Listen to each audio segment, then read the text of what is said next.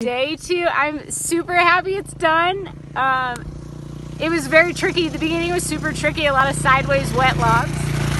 Down a bunch and then I had a ton of fun in all the rocks. And I think we went up a bronze hill that was super fun. I actually really enjoyed. And then towards the end, I just ran out of everything and I tipped over like a hundred times. The landscape is amazing. I enjoy a lot and uh, it was longer wa- than what I expect.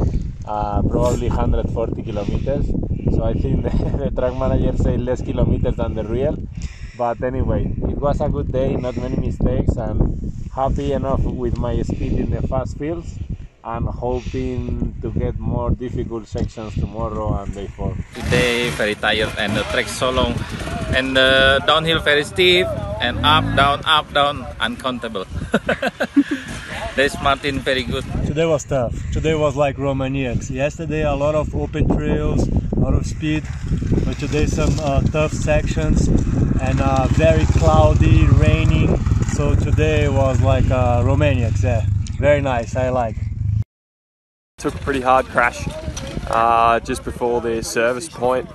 That took me out of it for a while, but I sort of just pushed through the pain and um, feel all right now actually. So that's good. Dude, today was sick. Like, su- like such a fun ride. Like it's, uh, yeah, up in the mountains here on these alpine trails.